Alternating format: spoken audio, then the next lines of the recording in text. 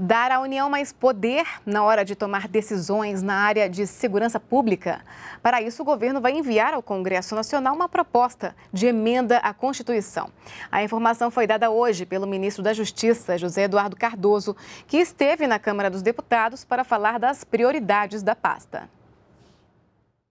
Nós temos várias propostas legislativas que estão aqui em curso e outras que serão apresentadas. Uma delas, que nós apresentaremos em curto espaço de tempo, é uma proposta de mudança constitucional que dará um papel mais ativo à União na segurança pública. A ideia é que a União possa, o que hoje não pode, legislar sobre segurança pública em sentido estrito e que segurança pública seja uma atividade comum de União, Estados e municípios. Ou seja, hoje a, a, União atua apenas naquilo que a Polícia Federal e a Rodoviária Federal pode e articula os Estados.